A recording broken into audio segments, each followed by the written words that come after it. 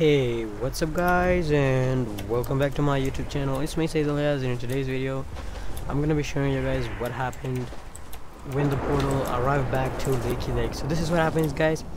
It basically created a portal up there. So I didn't saw it live. Like I was in the game, it didn't happen, but when I restarted my game, so that's what it looks like. As you guys can see the portal up there. I'll show you guys what it looks like. You guys can see it's very, very mad. The cube is literally as mad as it can be.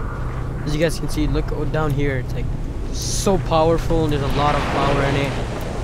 And yeah, guys, I'll, we'll go up there and I'll show you guys how it looks like from the top. So as you guys can see, this electricity over here. It has a lot of electricity, and that's what the portal actually looks like.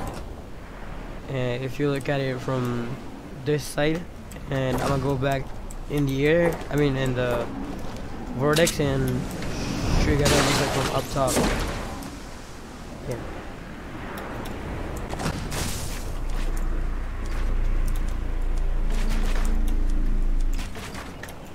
That's how it looks like guys.